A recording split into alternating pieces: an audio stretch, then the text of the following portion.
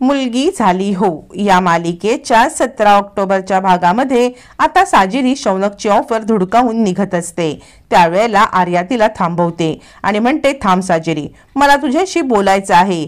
तू हे असं का करत आहेस? कामाचा आणि याचा काय संबंध आहे? शौनकची कंपनी असो किंवा अजून कुणाचीही तुला काय फरक पडतोय? त्यांच्या फाउंडेशनसाठी मिड डे मीलची गरज आहे आणि आपल्याला कामाची. इतका व्यावसायिक विचार आहे ना? याच्यावरती माऊ सांगते मला माझ्या पायावरती स्वतःच्या हिमतीने उभं व्हायचं आहे. मला कुणाचीही मदत नको आहे. याच्यावरती आर्या म्हणते अगं असं बोलणं चालू असतानाच तिथे एक गरीब बाई येते आपल्या मुलीला घेऊन. आणि ती भीक मागत असते. माऊतीला आपल्या याच्यातून जेवणाचे डब्बे काढून देते. ती बाई म्हणते खरं सांगू का? तर अशी भीक मागायला आवडत नाही हो. पण मुलीचं पोट भरण्यासाठी करायला लागतं.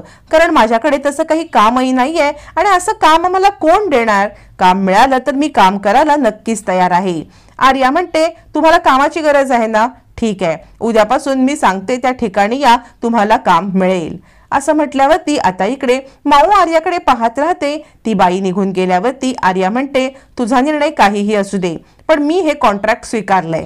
मी हे कॉन्ट्रॅक्ट स्वीकारून जेवण करणार आणि ह्या आता बघितलंस ना बाई यांच्यासारख्या कित्येक बायकांना रोजगार मिळेल त्यांच्या मुलींना अन्न मिळेल. तू विचार कर ना की ह्या फाउंडेशनमध्ये कित्येक मुलींना मिड डे मील मिळणार आहे प्रत्येक मुलीला तू गोजिरी समज आणि मग विचार कर. अखेर आर्याने माऊला मनवलेलं असतं. माऊ सुद्धा आता शौनकच्या फाउंडेशनला मिड डे मील द्यायला तयार होते. इकडे गोजिरीला शौनकची आठवण येत असते ती त्याचं चित्र काढते. आणि म्हणते गोबरे अंकल तुम्ही मला बरेच दिवस भेटायला नाही हो आलात. तुम्हाला माझी आठवण येत नाही का? मला माहिती आहे तुम्हाला नक्कीच माझी आठवण येत असेल. मला पण तुमची आठवण येते. लवकरच भेटायला या. असं म्हणून चित्र पाहत असताना तिच्या हातातून चित्र खाली पडतं आणि भूषणच्या पायाखाली जातं. ते चित्र उचलताना फाटतं. भूषण म्हणतो अगं सॉरी सॉरी माझं लक्ष नव्हतं हा. असं म्हणून तो ते चित्र घेतो आणि म्हणतो अगं कोण आहेत हे? याच्यावरती गोजेरी म्हणते हे न माझे गोबरे अंकल आहेत माझे बेस्ट फ्रेंड आहेत मला हे खूप आवडतात. आता शौनकचं चित्र पाहताना भूषणला धक्का बसतो. तो विचार करतो शौनक हिचा बेस्ट फ्रेंड त्यावेळेला तो गोजिरीला म्हणतो काय ग? मग मी तुझा फ्रेंड नाही का? मी तुला आवडत नाही का? गोजिरी म्हणते तुम्ही तर मला खूप आवडता. मला तर तुम्ही बाबा म्हणून पण चालणार आहात. हे वाक्य ऐकल्यावर ती भूषणच्या आनंदाला पारावार राहत नाही. तो गोजरीला आपल्या मिठीत घेतो. दुसऱ्या क्षणाला गोजरी म्हणते मी आईला पण हे म्हटलं पण आई मला सांगते की माझे खरे बाबा आहेत आणि माझे खरे बाबा कधी ना कधीतरी येतील. आत्ता सध्या ते बिझी आहेत. त्यामुळे खरे बाबा आल्यावरती मग काय करायचं? म्हणजे ज्यामुळे खरे बाबा असतात तर खोट्या बाबांची गरजच पडत नाही. हे ऐकल्यावर ती भूषणचा चेहरा पडतो. गोजिरी म्हणते हे चित्र तर फाटलेलं आहे. आता या चित्राचं काय करायचं? याच्यावरती भूषण म्हणतो तू काळजी करू नकोस. मी हे चित्र तुला चिटकवून देईन. असं म्हणून भूषण आता ते चित्र हातात घेतो. छानपैकी त्याला चिटकवतो. आता गोजिरी खूप खुश होते आणि ते चित्र घेऊन हसतच तिथून निघून जाते. भूषण तिच्याकडे पाहत बसतो.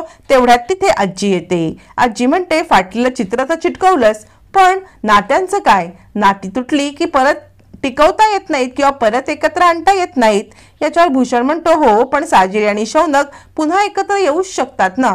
आजी म्हणते हे बघ शौनक आणि साजिरी यांचं नातं तुटलं नव्हतं तर शौनक तिला स्वतःहून सोडून गेले होता. त्यामुळे एक लक्षात ठेव तू हे सगळं विचार करून आशा सोडू नकोस. तू आशावादी राहा आणि तू लढ आणि साजिरीला जिंक. आता भूषण मनात विचार करतो बरोबर आहे. आजी म्हणतात तसंच मला करायला पाहिजे.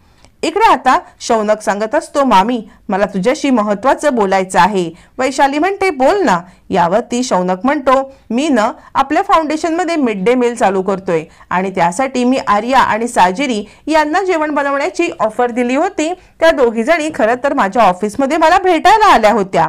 याच्यावरती वैशाली म्हणते खरंच? हे तर खूप चांगलं आहे. मग दोघी जणी भेटायला आल्या तेव्हा काय बोलल्या?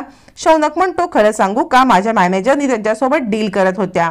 पण ज्या वेळेला माझं नाव ऐकलं ना तेव्हा साजिरीने माझी मदत घेण्यासाठी नकार दिला. वैशाली म्हणते काय?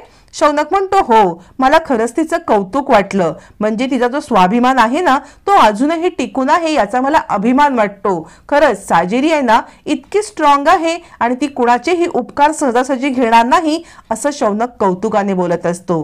वैशाली म्हणते शौनक आत्ता तू साजेरीबद्दल किती कौतुकाने बोलत आहेस? पण पाच वर्षापूर्वी तू जे काही वागलास किंवा तुझ्या मनातून जे काही आलं किंवा तू जे बोललास त्यामुळे ती खूप हर्ट झाली आहे. याच्यावरती शौनक म्हणतो मामी मला याचाच तर पश्चाताप होतो ना. आणि तेच प्रायचित्त करण्यासाठी मी हे सगळं करत आहे. पण साजिरीने माझी ऑफर डायरेक्ट धुडकावूनच लावली. याच्यावर वैशाली म्हणते हे बघ थोडा वेळ द्यायला पाहिजे आपण तिला. कारण हे सगळं विसरायला किंवा या सगळ्यातून बाहेर यायला तिला थोडा वेळ लागेल की नाही? कारण हे सगळं तिच्यासाठी खूप विचित्र होतं. त्यामुळे तिला थोडा वेळ देऊया. सगळं काही ठीक होईल. इकडे आता रात्री झोपताना भूषणला एक वेळेला रोहनचं बोलणं आठवतं आणि त्याला साजिरी सोबत स्वप्न पडतं. साजिरी आता आपल्यासोबत आहे. आपण तिच्यासोबत छान गाणं म्हणत आहोत. आपण दोघ जण एकत्र आहोत. हे सगळं स्वप्नात दिसतं आणि अखेर आता तो साजिरी समोर आपलं मन व्यक्त करतो. साजिरीला फूल देतो आणि म्हणतो मी तुझ्यावरती खूप प्रेम करतो आणि अजूनही प्रेम करेल. जेवढं शौनक करत नसेल ना त्यापेक्षा जास्त प्रेम मी तुझ्यावरती करेन. असं म्हणून तो साजिरीच्या समोर फूल धरतो. पण साजिरी फूल घेणार तेवढ्यात तिकडून शौनक येतो आणि साजिरीला आवाज देतो. शौनकला पाहून साजिरी धावत जाऊन शौनकला मिठी मारते. आणि दोघ जण चक्क गाणं गायला लागतात. आणि जे गाणं भूषण आणि साजिरी गात असतात तेच शौनक आणि साजेरी गायला लागतात. भूषण हे सगळं पाहत असतो आणि साजेरी शौनक सोबत किती आनंदात आहे हे बघून भूषणला खूपच वाईट वाटतं. आणि आता भूषण हे सगळं स्वप्न पाहत असतो. स्वप्नातून खडबडून जागा होतो आणि तो विचार करतो नशीब हे स्वप्न आहे. पण सत्यामध्ये असं झालं तर? सत्यामध्ये शौनकने येऊन साजिरीला माझ्यापासून हिरावून नेलं तर? नाही नाही. मला असं होऊन द्यायला नको. मला हे स्वप्न सत्यामध्ये बिलकुल आणायचं नाही. त्यासाठी मला प्रयत्न करायला पाहिजे. मी असं घडून देणार नाही. माझं प्रेम आणि विश्वास हे दोन्हीही साजिरीला मी दाखवून देणार आहे. त्यामुळे साजिरी माझ्याच प्रेमात पडली पाहिजे. हा विश्वास मला टिकवला पाहिजे. असा विचार करून आता भूषण साजिरीला पुन्हा एकदा आपलं मन व्यक्त करण्याचा विचार करतो आणि ठाम निश्चय ठरतो. त्याच वेळेला राजनीकडे कराटे क्लासच्या इथे जातो आणि त्या पिऊनला सांगतो हे बघ आज न आमच्याकडे आनंदाचा सण आहे. त्यामुळे मी इथल्या मुलांसाठी मिठाई आणले. तर तू एक काम कर कराटे क्लासमधल्या सगळ्या मुलांना मिठाई दे आणि ही बदामाची स्पेशल मिठाई आहे. कागदामध्ये रॅप केले ती गोजिरी आहे ना तिला मिठाई दे. असं म्हणून आता गोजिरीच्या मिठाईमध्ये काहीतरी मिसळून राजनने कपट केलेलं असतं. तो पिऊन सांगितल्याप्रमाणे सगळ्यांना मिठाई देतो आणि गोजिरीला ती स्पेशल मिठाई देतो. आता गोजिरी मिठाई खातच असते अजूनही तिच्या तोंडात पोहोचलेली नसते. तोपर्यंत इकडे आता जेवणाचे डबे तयार होतात आणि शौनकच्या फाउंडेशनसाठी जायला निघतात तेव्हा आजी म्हणते मला एक सांगा डबे तर बनवले पण नेणार कुठे आपण? यावरती आर्या म्हणते हे डबे आहेत ना शौनेकच्या फाउंडेशनसाठी मिड डे मील म्हणून चालले आहेत आता आजी चिडते. आजी म्हणते अजिबात नाही. इथून या घरातून शौनकच्या कंपनीसाठी किंवा शौनकसाठी काहीही जाणार नाही. माझा ठाम निर्णय आहे. असं म्हणून आजी आता अडमुठेपणा करते. इकडे साजिरी आणि आर्या दोघींनाही धक्काच बसतो. आता आजीच्या विरोधात जाऊन आर्या आणि साजिरी मिड डे मीलसाठी डबे पोहोचवणार का हे मात्र येणाऱ्या भागातच कळणार आहे.